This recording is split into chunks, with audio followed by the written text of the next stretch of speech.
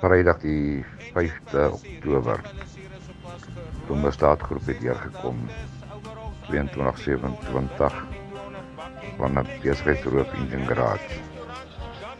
En ons het hom hulle opgevolg uit die my gou-gou. Recon Technical al die Die kluise gebom.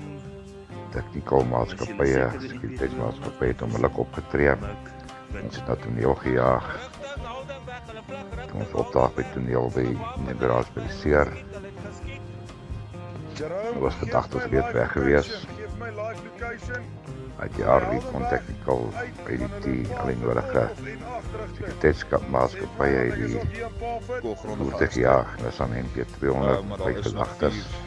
Ehm Ons het die toneel gaan beskerm daar by in die garage. Dan het ons nou bystand gelewer. Terug sal keer soontoe nie. Nodige as daar mense forensies kan geskakel.